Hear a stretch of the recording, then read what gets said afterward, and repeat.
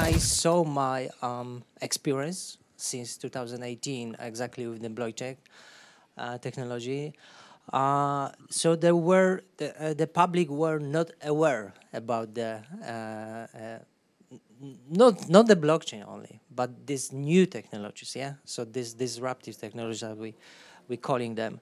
So that that is the the reason. Uh, what I see after these five six years is, uh, uh, of course, the uh, some change in their behaviors, and about that, we want to speak with our guests.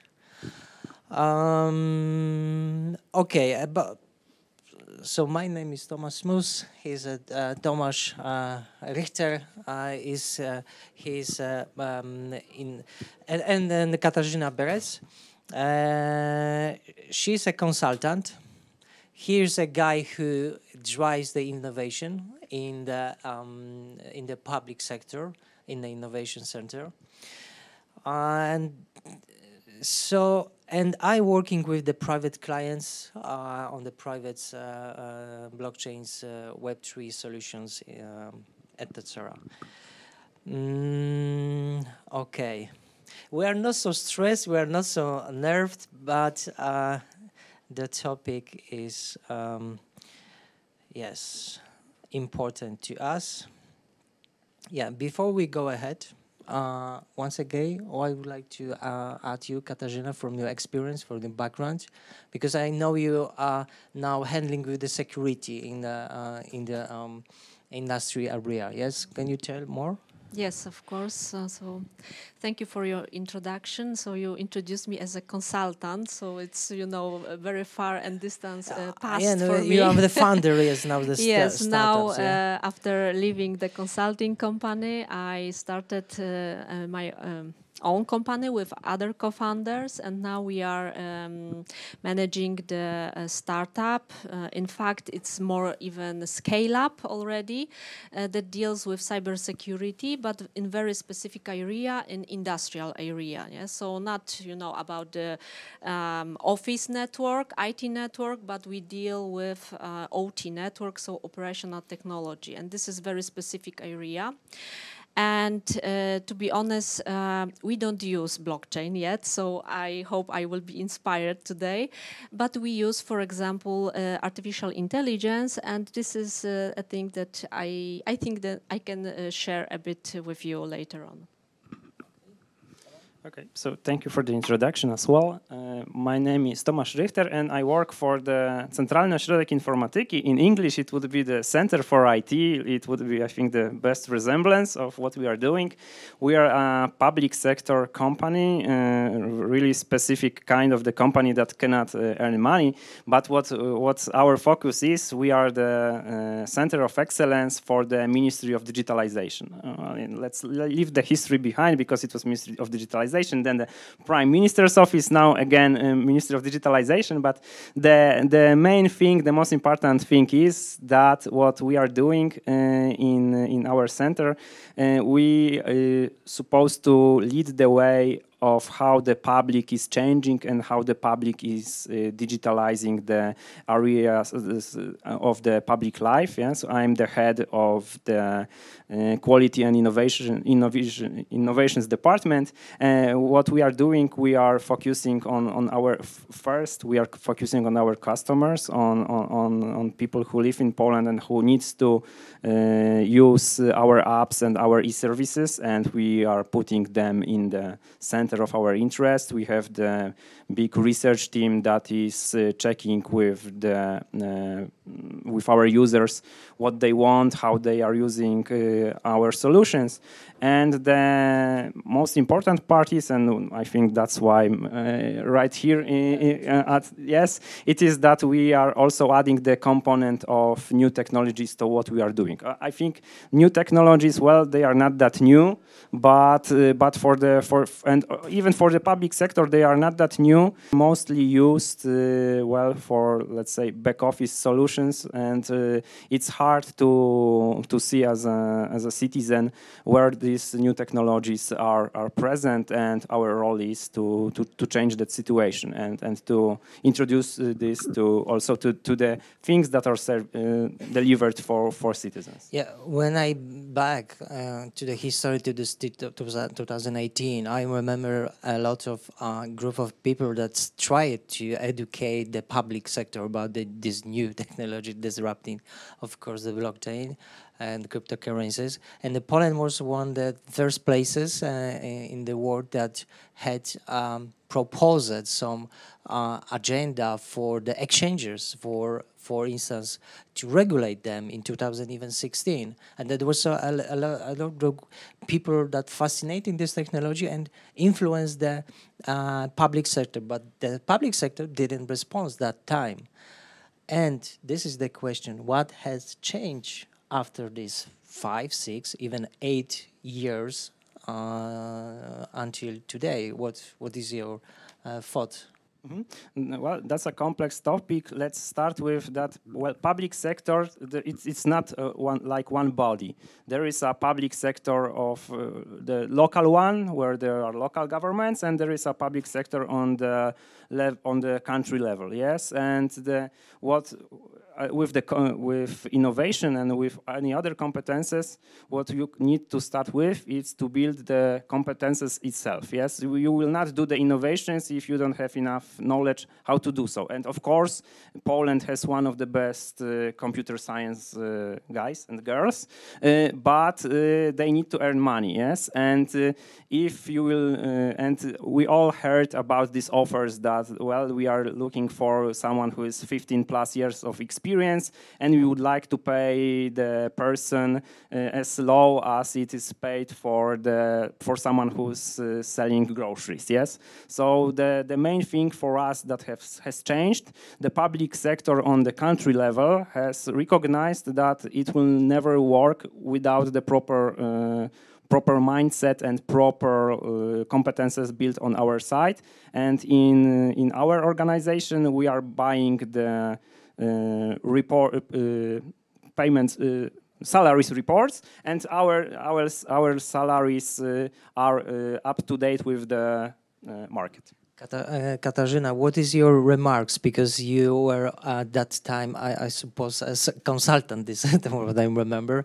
But now, when you compare this time to today, Okay, so um, what I can refer to uh, when it comes to public sector is uh, public sector in terms of state-owned companies. Yes, so including also uh, companies with critical infrastructure, like for example, energy sector, oil and gas, uh, transportation, uh, and big manufacturing uh, companies owned by by the state. And what we observed for last I think, six years when we are on the market uh, is the fact that the cybersecurity in industry uh, wasn't existent, uh, wasn't um, uh, wasn't uh, existing at that time, uh, and it was very difficult for us to raise the awareness of companies, of dot companies. Um, that the cybersecurity and OT part is very important, yes, because you know IT and OT started to be interconnected, and uh, the new attack vectors appeared, uh, and uh, very often the attack vectors uh, comes from the um, come from the IT network and goes to the OT. And uh, when we you know, we, when we have the uh, synergy between those two worlds, then it's important to take care of the, the industrial part. So the awareness uh, were raised very slowly, uh, and now we can observe that the public sector is preparing for uh, procurements, yes, preparing for uh, acquiring from the market solutions that will help them to to build resilience and to be um, and to to protect protect against the cyber cyber attacks. Yeah. Yeah, that's true. Also, I would say that the recent events were well helpful in, in that context yes because first covid then the war on ukraine uh, people first they started to walk from the office to and start to working from their homes. So before that when i was working in, in banks uh, the bank was saying be, the security is uh, covered because you are work, working from the office yes? And then we started to work from our homes not from the office. So you need to think about security from the other perspective yes? Uh, of course this this thinking this kind of thinking was was wrong in the beginning but but still that was the mindset yes and and this has changed uh, the other part war on ukraine yes for for us uh, in in our uh, in our uh, company. It was first time that we have used the uh, public cloud because uh, normally and how we started, we started by operating the national registry, special registry, registry of vehicles and drivers. Did you start at that time uh, using these disruptive technologies?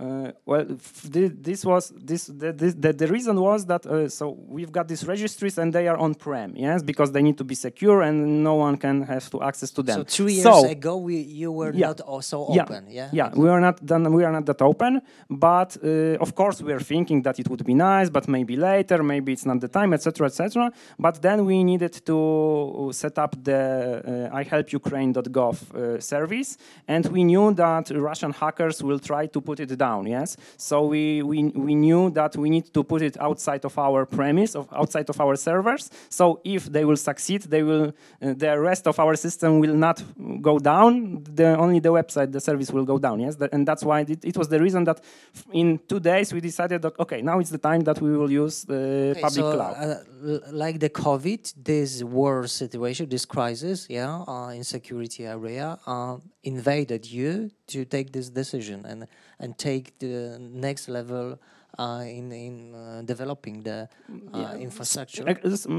speed up, yes, I would say it, it, spe speed, it speed up some some things. Also, it is uh, about the awareness, yes. So more and more people, because it, uh, you are saying about the past few years, yes, and yeah. this this awareness was was uh, it was started over at this time, yes, but it was gathering some slow traction, and the things speed up because of this. Now we uh, you know, the, the uh, taxi driver knows about cybersecurity because uh, in news they are saying that Russians trying to hack us. Yes, so so that's the that's a big switch of of awareness around all of us. Yes, and also around the public sector. Oh yeah. Uh, also, so we see here clearly something that uh, the change happening, uh, starting from the awareness.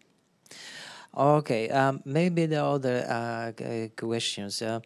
Katarzyna, um, now you're the startup funders. You are in the security area. You uh, you starting using this um, uh, artificial intelligence, intelligence. What happens in the um, these um, companies, these entrepreneurs, uh, or this uh, in, in, your industry that they open to these uh, new disruptive technologies?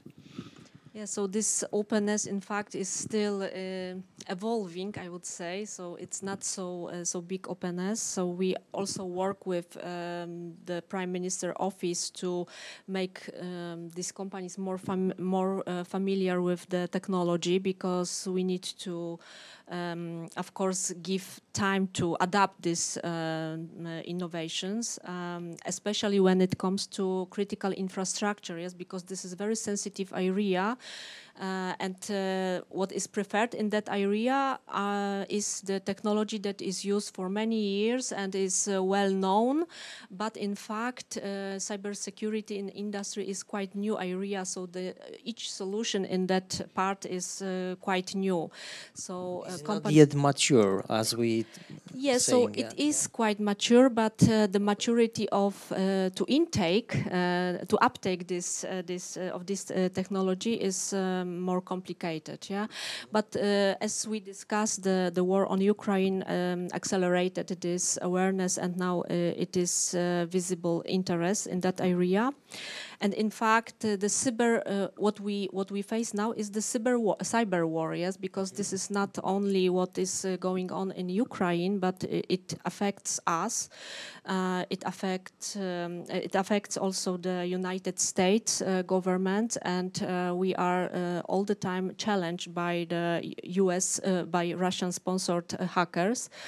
Uh, and uh, what we provide, um, just to be precise, is the solution mm, that is monitoring the industrial network, the network that were that was uh, till now completely separated, like you know, like uh, with the fence, yes, from the external world. So it was, you know, quite safe environment. But now, as as soon as the interconnection uh, progresses, then it is not uh, anymore possible to to be so separated. Yes, so uh, we delivered the solution that is monitoring that area that was in fact a bit neglected yeah uh, and we detect any anomalies that um, appears in that network uh, including also cyber attacks yes and we use uh, three types of detection uh, methods. This is signature based, rule based detection, and behavioral detection. And this behavioral method is based on AI. Yes, and here, why it is so important because um, AI allows us to detect uh, uh, cyber threats that are unknown. Something that never happened before yes and we don't we don't have the signature of that uh, of that uh, cyber threat. And this is especially important in, in current geopolitical situation because we are able thanks to ai to detect so-called zero days so the cyber threats that are unknown in fact yeah. Uh, Katarzyna uh, and Tomasz, I discovered in the one of the first panel uh, that in Poland there are uh, several spots, uh, uh, Rzeszów, uh, Rybnik, Olsztyn, Kołobrzeg, that's, that started already using these different um, uh, uh, disruptive technologies, yeah? And what the leaders said, um, uh, they facing different uh, uh, problems uh, in in be, because first of all they are in the uh, public uh, sector and they see uh, that many um, people that are working with so i mean the, um, the, the employees for for instance are um, not aware and uh, afraid of these uh, new uh, threats and the technologies. So what is your uh, view um, uh, to um, yeah to the situation in, in, in our country in, in, in Poland in these technologies yes So again, to to go back also to, to what Katarzyna was saying and, and to your to your previous question and your current question, it's again about the competences and about what, what we know, yes, the, the, the fears and also why we are not adapting the technologies as fast as we can. Well, well because working in a public sector is not like going to the candy store, so you can buy anything that you want when you want. Yes, you've got this whole process of uh, uh, public orders, yes, or, and you, you, you cannot buy what you want. You need to do, if you want to buy something, you need to do it in specific, in very specific way, yes. So even uh, to buy something, you need to have pro- proper knowledge to write properly the order of what you need to buy. To Do- write do- it down, do you, need think to this have is the procurement uh, some kind of the procurement Yeah. or yeah yeah exactly. So so so again so, so the fears of people who are using it the and the but first the, the fears of people who need to buy something yes? If i don't know what i am what i am buying and if katarzyna comes to me and i don't know anything about the topic or i know really not that much i don't know if she's selling me something that is useful and nice or she's selling me something that i will well spend money and i will not achieve any business gains yes? So so if i have knowledge i can assess that and then uh, i can do uh, all of these things uh, quicker and well make it happen. And then i am less in fear and i'm avoiding vendor lock yes? The, because what we are seeing uh, especially in, in some bigger organizations like well let's say ZUS yes? National insurance.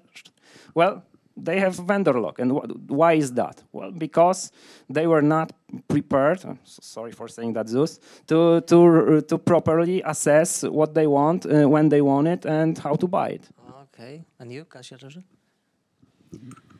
Yes, so maybe I will refer to um, one of uh, the latest cyber attacks, in fact, on supply chain. Yeah, this is something that maybe public sector is also afraid of. Yes, because you never know what you are buying. Yes, because um, there is a, cert there are certain stages uh, uh, between the public sector and the first. Uh, I don't know code provider. Yes, part of the of the solution provider. Uh, and also you have in between the integrator, so potentially the company that is installing, deploying the solution. Uh, so what uh, the, the one of the most uh, infamous cyber attack on uh, supply chain was SolarWind, and it uh, started in 2019, and it was uh, about the company that uh, that uh, is producing the tool for monitoring of IT networks, and many companies are using I, I, don't know if still, but they were using it uh, to monitor their networks, including also U.S. government. Yeah, and finally, approximately 30 uh, companies and uh, also institutions, administrative institutions, were hacked. And the origins of that attack was um, uh, hacking the uh, solution provider, installing the uh, plug-in uh, in, the, in that platform, uh, and uh, this plug-in became a kind of backdoor and while updating by the clients of that company, updating the platform, yes, because regularly you need to update the software that you are using, like with Microsoft, uh, they automatically installed the uh, malicious software on their uh, in their on their computer computers or in their uh, networks. Yes, so the impact was uh, huge, and uh, even the U.S. government wasn't able to protect against that. Yes, so Okay. the same fear can uh, have Polish. Okay, be, because I think that my our panel is uh, going to finish. Yeah, five minutes. Okay, but um, let's try to summarize or give some recommendation um, to the public institution or the different uh, states, uh, voivodschafts, uh, uh, and the local entities. Uh, what um, they maybe should uh, how they should behave, what they should do uh, to um, implement these uh, innovations, yeah, these uh, innovative technologies that we are as a young, maybe uh, not so young, so, but uh, but I feel like the Z generation, yes, and what what they should do, yeah. What is your thoughts? During, yeah, please share. Well, I would say build competences, but of course it's not that easy for the smaller ones, yes, because I, uh, if you are from the bigger city, you have enough money to do so, but if, uh, or not, yeah, I know, I, am looking at Po- Poznan uh, friends, uh, but, uh, but actually it is also, I think, and what is the, the Minister of Digitalization saying, it is our role to help them, yes, so, so we have, uh, we are in the center of that, we have the knowledge and we have the, well, let's say source, sources that that are needed to do so. And actually what it is what we are doing right now. So so we are trying to build the solutions that can be then implemented by the smaller municipalities uh, smaller smaller cities yes. So so uh, i don't know if you are really small and you don't have money well you are in really really bad position and it's hard to be wise guy to tell someone who has no resources to to be better. But uh, if i think it is for our job to to help them not to only look for the bigger cities at, at warsaw but but also to to to remember that there are other parts of poland that need to help and only if we will be digitalizing uh, as a whole country not the forerunners, then we will achieve the success and the general resilience of us, of our society, will uh, go up. So a short comment from my perspective as a vendor, so as a producer of such an innovative uh, solution, mm, uh, is to perhaps uh, use the mm, American experience uh, because what they did, it was uh, in mid uh, 2022, the national mm, supported authorities, I mean NIST, institution, together with national laboratories, tested several uh, solutions for cybersecurity, for example, and um, presented the results of this uh, testing. Of course, these were very good vendors, so the tests were um, obviously quite quite okay. But what it um, what was the result? The result uh, was you know gaining a trust uh, to these technologies. Yes, so the other companies from public sector, like for example, uh, companies with critical infrastructure, gained more trust to those uh, technologies because they were simply objectively tested. Yeah, so such a project was uh, implemented last year in United States. Yeah, so I, I, I identify uh, some um, crucial points that um, first changing the, the mindset even you are the public institution so you you cannot uh, fear that the something is new so you try you need to find a partner that explain you educate you inspire you uh, to get the um, uh, network uh, of the uh, reliable consultants, reliable uh, people on the market that face this um, uh, challenges with these technologies. The other thing is that um, innovations won't happen uh, without the people because people if they're open they uh, uh, open this innovation so you need to find uh, uh, masses even in the, in the in the public sphere that uh, are sure with this decision going further and with this step Another thing is um, uh, being uh, maybe uh, not maybe uh, in all decision making or the maker, but maybe the uh, the the, the helps uh, in even my partner as a vendor um, achieve our common goals, our common results. Yeah. Um, so because you mentioned this uh, this example with this uh, ZUS, uh, the, the, the, Polish insurance uh, public uh, company. Um, and the other thing is that uh, have the resources, of course, because if I have resources, I can um, mm, predict a little bit future. I won't answer anything, but I can be sure uh, uh, what I do. Yeah.